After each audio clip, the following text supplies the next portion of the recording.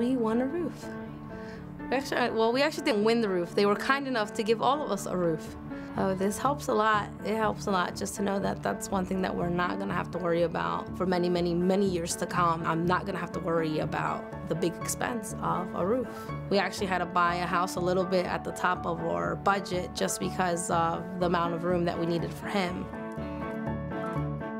money that we had for any emergency, that's what we used to make the house accessible so that we could at least get him in and out of the house. We do have one side of the house that does have leaking, but we're like, we're, we're, out, we're out of funds. Everybody that knows G Fedale speaks highly of them and really say what great guys they are. And I just thought that was awesome. They brought me like so much options of roofing, they're treating us like high quality customers. They brought every, I guess everything they had. I was pretty impressed. We're happy, we're very humbled, we're very thankful. There's not enough words to say how thankful we are.